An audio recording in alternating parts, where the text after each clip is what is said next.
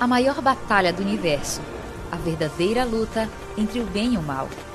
Leia, estude, busque iluminação do Espírito Santo e assuma seu lugar neste confronto. Essa escolha definirá seu futuro eterno. O grande conflito.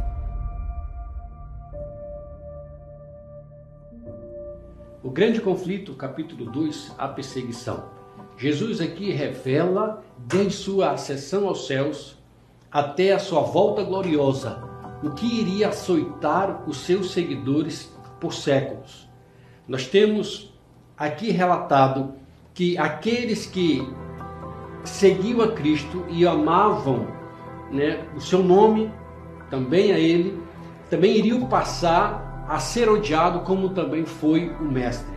O paganismo tinha uma grande preocupação e a preocupação era somente ver o cristianismo crescer e triunfar. Com isso, os seus altares, os seus templos seriam destruídos, desapareceriam. Então inicia a perseguição.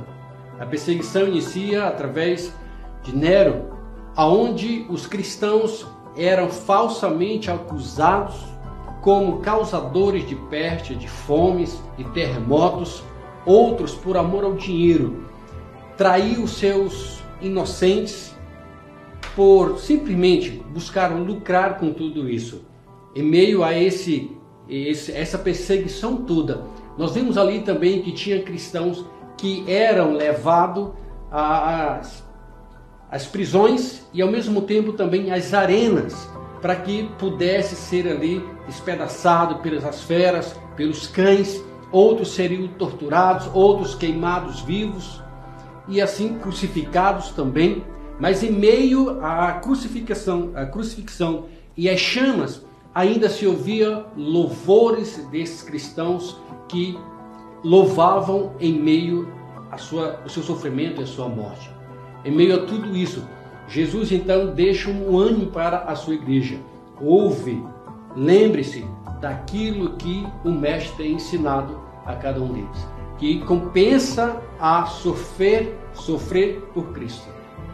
Os seguidores de Cristo foram forçados a buscar refúgio nas colinas e também em situações subterrâneas, aonde muitas das vezes ali eram deixados os seus parentes, filhos, por simplesmente não poder é, fazer outras situações em relação à morte. Daí, em meio a este conflito todo, surgiu também aqueles que falsamente eram conversos e dentro da igreja surgiu então o paganismo.